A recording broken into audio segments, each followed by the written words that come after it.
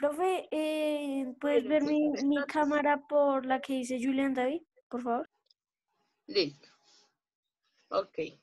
Bueno, entonces les estaba diciendo, entre montaña y montaña, ya como tenemos allá hace ocho días que hicimos las montañitas, no sé si se alcance a ver, porque es que...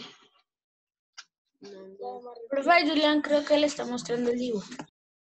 Ahí entre montaña y montaña van a hacer un medio círculo para el sol. Bueno, traten que sea como simétrico hacia los dos lados.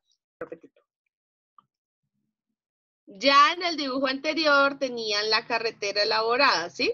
En la línea horizontal sobre la cual está posicionada las montañas y en este momento lo que están haciendo es el círculo, el medio círculo sobre el punto de fuga que va a representar el sol. ¿Listo? Continúa, Paula, por favor.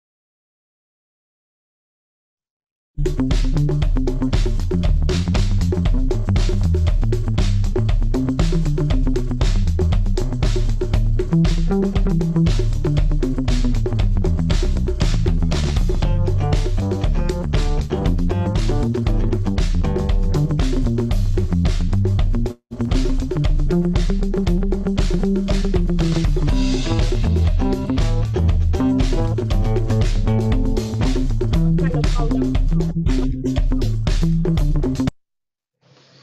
chicos, entonces ahí lo que vamos a hacer es darle un efecto eh, de relieve a esas montañas, ¿sí? ¿Cómo se hace eso? Pues como ustedes acaban de ver, tenemos que poner lápiz, difuminarlo, que es como hacerlo un poquito más opaco, lo vamos a hacer con el dedito, y vamos a ir difuminando lo que es eh, las montañas. ¿Listo? El sol todavía no, porque simplemente no se le ha puesto todavía el lápiz.